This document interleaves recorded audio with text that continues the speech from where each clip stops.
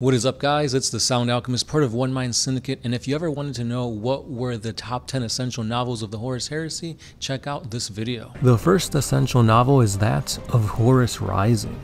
Without spoiling any of these, I'll just give you a quick one sentence synopsis of what to expect. And in this first novel of the Horus Heresy, it is basically the end of the Great Crusade, and you get a good look into the Luna Wolves' Legion, and how the Imperium operates when they conquer worlds. And after you finish reading these novels, I will say that the next step is to dive into the lore that is the Siege of Terra. This is the next stage after the Horus Heresy. Now, those were just a few novels that you have to look into, but for more information and the full top 10 list, check out the link in the description.